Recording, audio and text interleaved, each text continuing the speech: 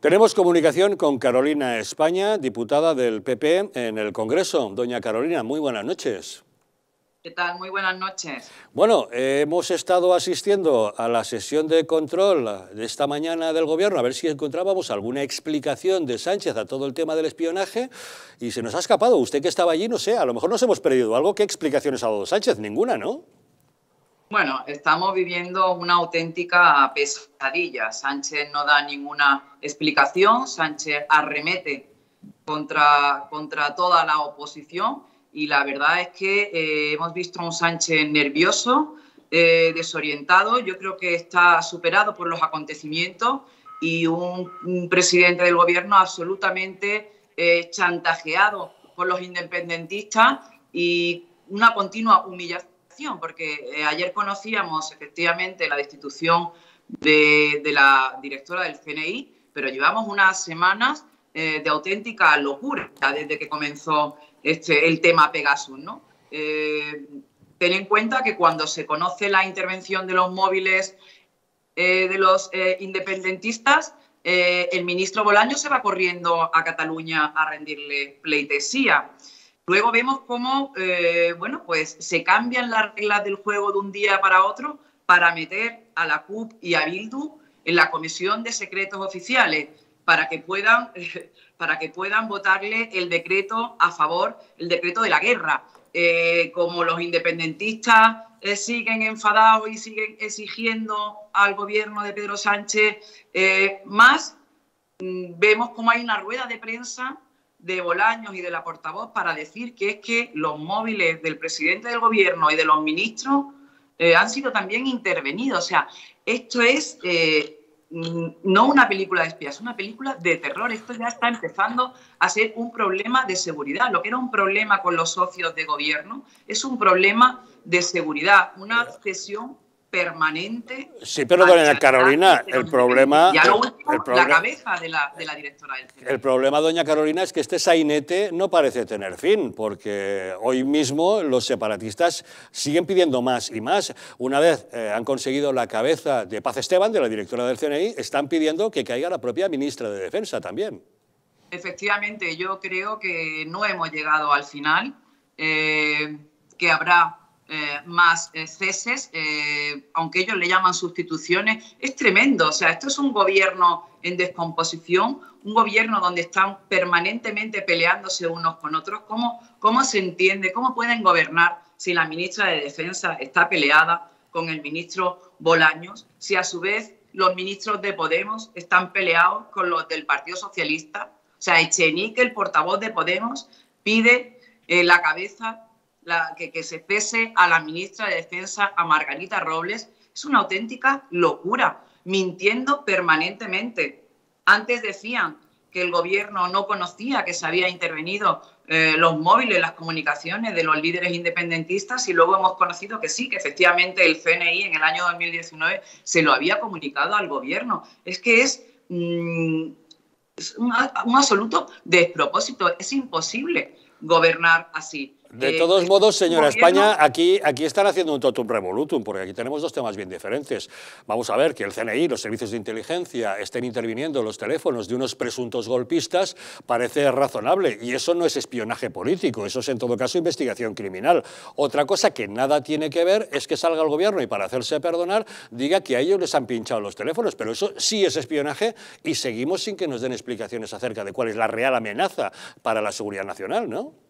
Claro, es que eso, es lo que eso es lo que nosotros decimos, que el tema de los líderes independentistas tiene una autorización judicial y lo han querido mezclar con el otro espionaje que sí es muy grave y que no sabemos qué tipo de información se le ha sustraído al móvil del presidente del gobierno o al móvil de los ministros, si es una información que puede eh, atentar contra la seguridad del Estado, no se ha dado ningún tipo de explicación. Por lo tanto, eh, es un absoluto despropósito lo que está ocurriendo. Eh, vemos a una ministra de Defensa que hace una semana defendía a la directora del CNI y ayer decía que no, que bueno, que era una sustitución.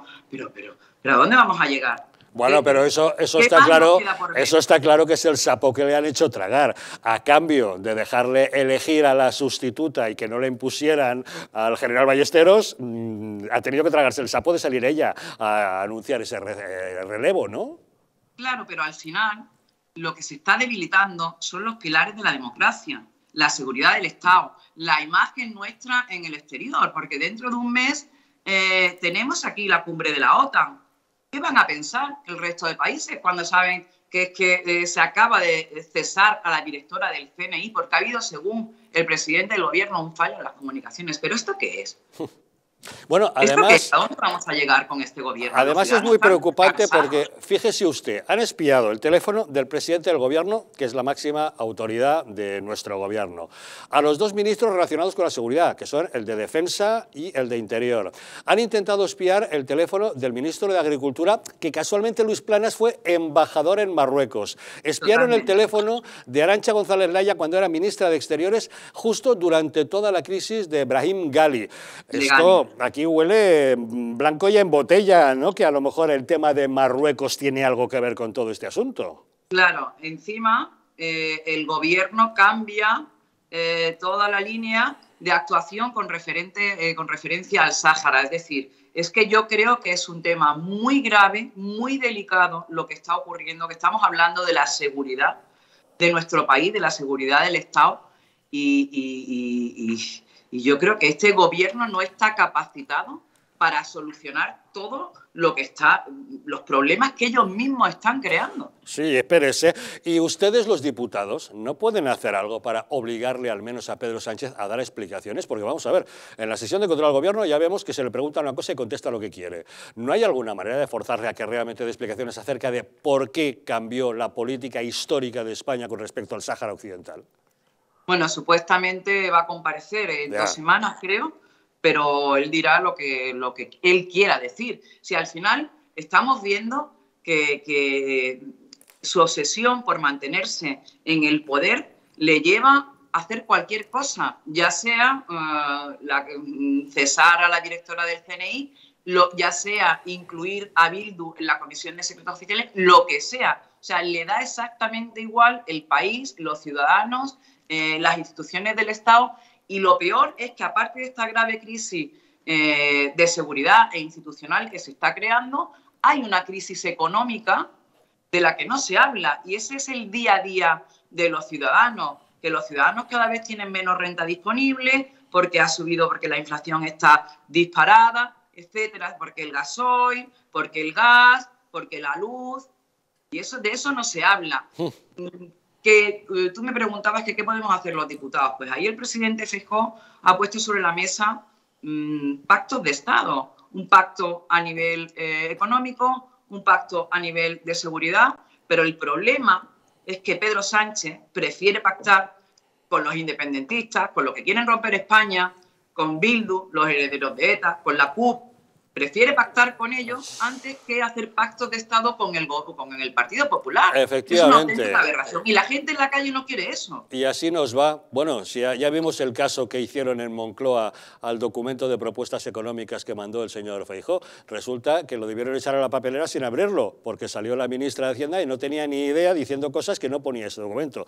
Pero bueno, eh, doña Carolina España, diputada del PP en el Congreso, muchísimas gracias por habernos acompañado en Los Intocables. Muchas gracias a ustedes, buenas noches. Un saludo, muy buenas noches. A ver, don Ricardo, ¿qué está pasando? ¿Qué explicaciones nos debería dar?